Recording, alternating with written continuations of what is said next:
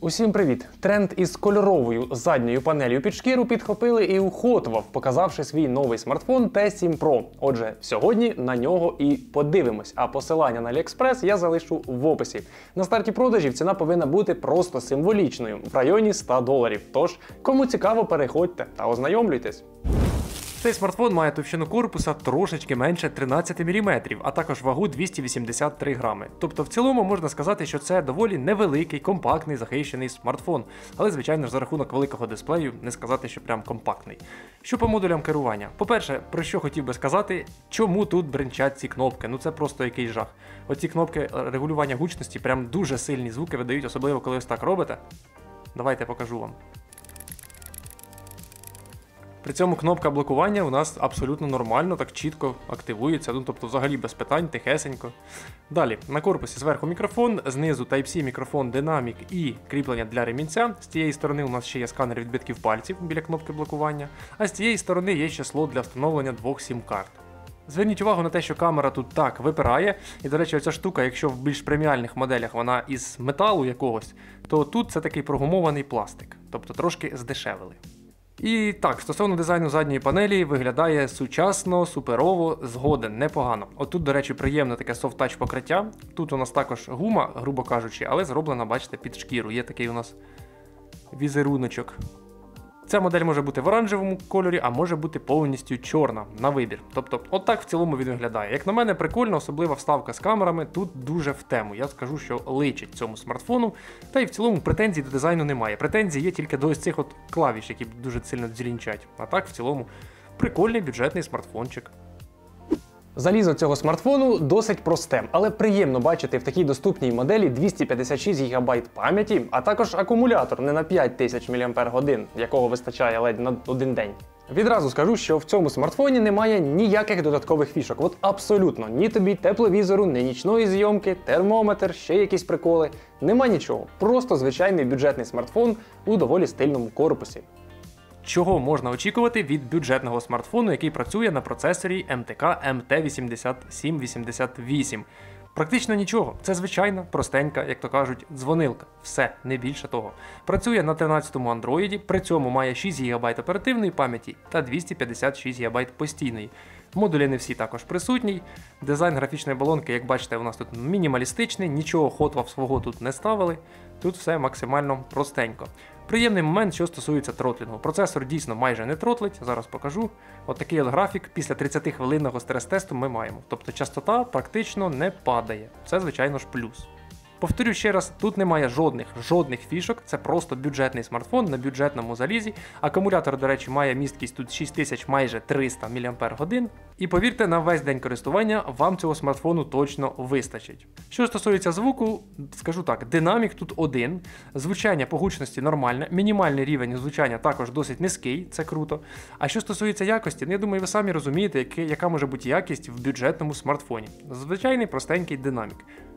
Ну і звичайно ж, для тих людей, хто хоч трошечки в щось інколи грає, ось таке простеньке, то з цим проблем не буде. Цього процесору для таких ігор вистачає. До речі, роздільна здатність тут екрану Full HD, забігаючи наперед, вам скажу.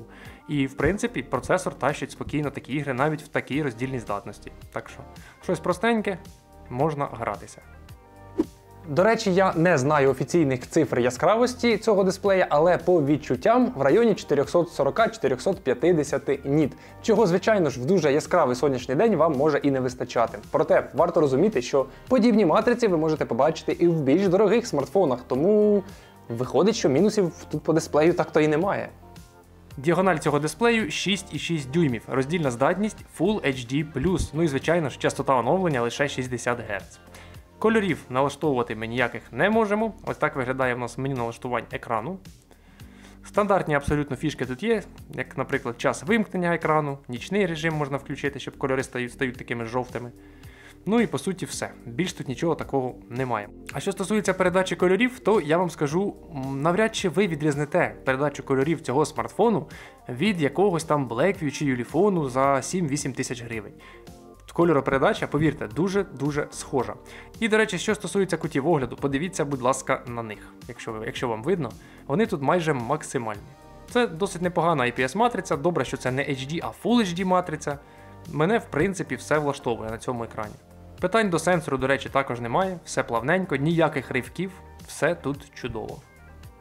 Як для бюджетного смартфону, камера вход в Hot T 7 Pro більш ніж нормально. Звичайно, треба розуміти, що знімати потрібно в хороших сонячних умовах, тому що, переходячи в приміщення, ви будете отримувати доволі шумні та мильні знімки в залежності від освітлення. Але в інших сценаріях використання, в принципі, я камерою тут задоволений.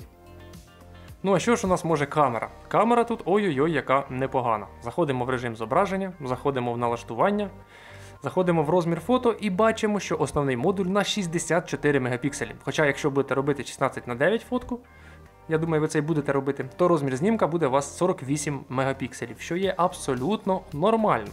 Режим відео. Тут, звичайно, буде у нас Full HD роздільна здатність, більше процесор не підтримує, та воно в принципі і не треба на такому апараті.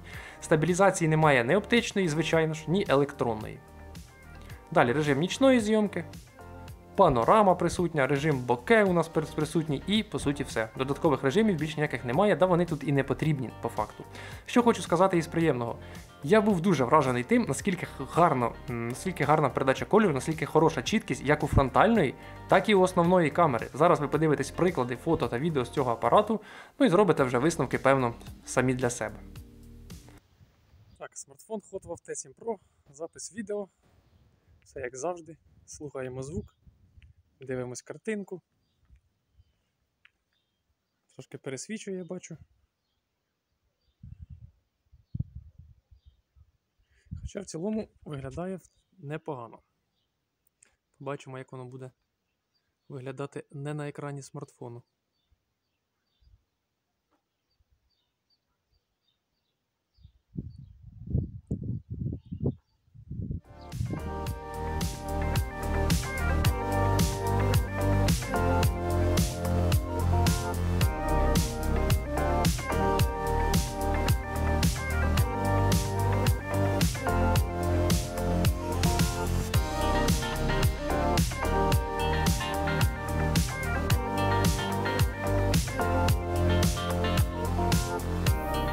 Ну що ж, до цього смартфону я якихось надзвичайних вимог не ставив, тому в принципі отримав те, на що і очікував. Як вам особисто цей смартфон, напишіть, будь ласка, в коментарях. А у мене на цьому все. Піду, знаєте, готувати наступні огляди більш цікавіших новинок.